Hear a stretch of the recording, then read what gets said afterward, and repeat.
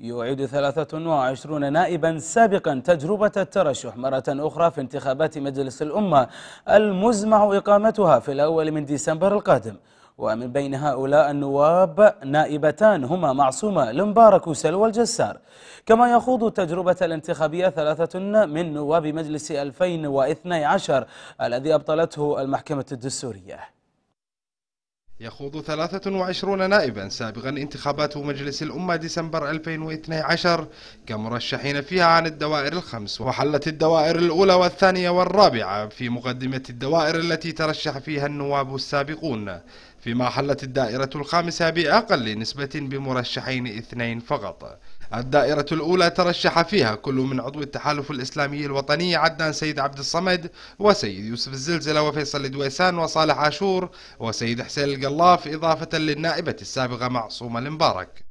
أما الدائرة الثانية والتي حلت متساوية مع الدائرتين الأولى والرابعة ترشح فيها كل من أحمد لاري والذي غير دائرته الانتخابية بعد مرسوم تعديل الأصوات وخلف الدميثير العنزي وعلي الراشد وعدنان المطوع وراشد الهبيدة الذي لم يحالفه الحظ في آخر دورتين انتخابيتين.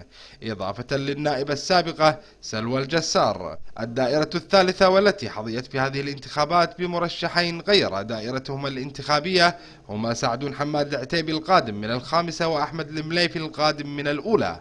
فيما كان الثالث هو النائب السابق علي العمير وهو ممثل سابق للدائرة الثالثة. شهدت الدائرة الرابعة عودة ستة من النواب السابقين أربعة منهم ممثلين عن قبيلة الرشايدة وهم مبارك الخرينج وناصر الدويلة وسعد الخنفور وبراك النون. وكان ترشح في الدائرة الرابعة أيضا عسكر العنزي فضلا عن ممثل الحركة الدستورية الإسلامية السابق خضير العنزي والتي أعلنت الحركة فصله بعد ترشحه في هذه الانتخابات.